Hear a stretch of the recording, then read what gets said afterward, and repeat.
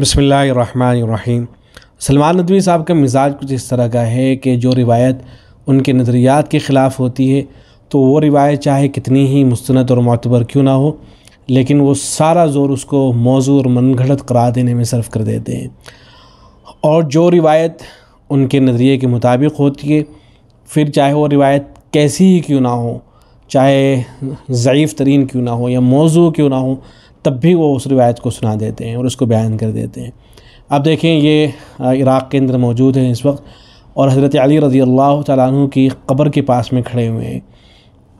شیعوں کے یہاں مشہور ہے کہ یہ حضرت علی رضی اللہ تعالیٰ عنہ کی قبر ہے، وہاں مزار وغیرہ انہوں نے بنا رکھا ہے۔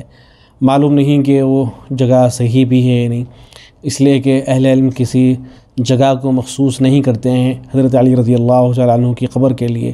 یعنی یہ معلوم نہیں ہے کہ حضرت علی رضی اللہ تعالیٰ عنہ کو کس جگہ پر دفن کیا گیا تھا۔ لیکن بہرحال شیعوں کے یہاں مشہور ہے تو وہ وہیں کھڑے ہوئے ہیں اور کچھ روایتیں سنا رہے ہیں، کچھ احادیث سنا رہے ہیں۔ تو جو روایتیں سنائی ہیں، ان میں ایک موضوع روایت بھی آج جناب نے سنائی ہے۔ چونکہ حضرت امیر معاویہ رضی اللہ تعالیٰ عنہ کے حوالے سے ان کے نظریات صحیح نہیں ہیں اور بہت ہی خراب قسم کے نظریات رکھتے ہیں حضرت امیر معاویہ رضی اللہ تعالیٰ عنہ کے حوالے سے۔ جبکہ اہل سنت کا موقف یہ ہے کہ حضرت علی رضی اللہ تعالیٰ عنہ اور حضرت امیر معاویہ کے درمیان میں جو اختلافات ہوئے، تو حضرت علی رضی اللہ تعالیٰ عنہ وہ حق پر تھے اور حضرت امیر معاویہ رضی اللہ تعالیٰ عنہ وہ خطا پر تھے۔ اور یہ جو ان کی خطا تھی، وہ اتحادی خطا تھی، انشاءاللہ ان کو بھی اجر ملے گا۔ اور یہ سارے حضرات جنتی ہیں، جنت کے اندر جائیں گے، یہ اہل سنت کا موقف ہے۔ لیکن وہ ان کو بہت ہی خراب الفاظ ان کے لیے استعمال کرتے ہیں۔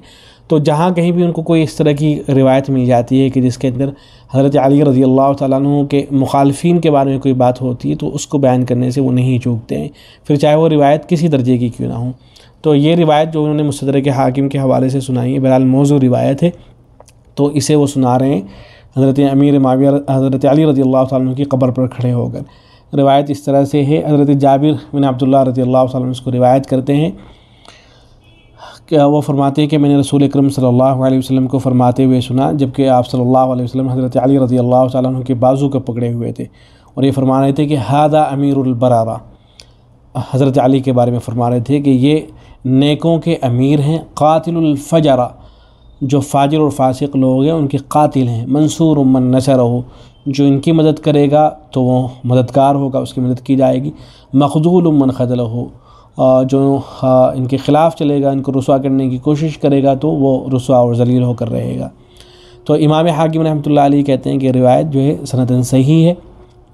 تو بس انہوں نے یہیں پہ بات کو ختم کر دیا ہے۔ امام حاکم کے حوالے سے سنایا اور اس بات کو بیان کر دیا کہ امام حاکم اس روایت کو صحیح کہتے ہیں۔ اور جو دیگر اہل اس روایت کو موضوع کہتے ہیں، اس کا کوئی ذکر نہیں کیا ہے۔ تو اس روایت کے بارے میں علامہ ظاہبی رحمۃ اللہ علیہ فرماتے ہیں کہ بل واللہ موضوع بخدا یہ موضوع اور من گھڑت روایت ہے۔ اور وجہ اس کی یہ اس لیے کہ اس کے اندر ایک راوی ہے جس کا نام ہے عبداللہ بن یزید الحرانی۔ تو اس کے بارے میں اہل علم کا خیال یہ کہ یہ آدمی جھوٹا تھا، کذاب تھا۔ تو امام حاکم رحمۃ اللہ علیہ فرماتے ہیں کہ مجھے امام علامہ فرماتے ہیں کہ مجھے امام حاکم پر تعجب ہوتا ہے۔ کہ وہ کس طرح سے جرت کر لیتے ہیں کہ اس طرح کی جو باطل روایتیں ہوتی ہیں ان کو صحیح قرار دے دیتے ہیں۔ اور یہ جو احمد تھا، یہ دجال تھا، کذاب تھا۔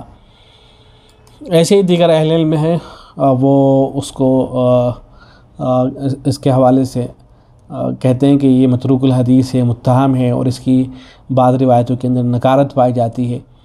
اور اس کی روایت کو ترک کیا جائے، ان کو نہیں بیان کرنا چاہیے۔ علامہ ذاہبی برال اس کو کذاب کہتے ہیں۔ تو یہ ایک موضوع روایت ہے۔ تو موضوع روایت کو حضرت علی رضی اللہ تعالیٰ عنہ کی قبر کے اوپر جو ہے کھڑے ہو کر سنایا جا رہا ہے۔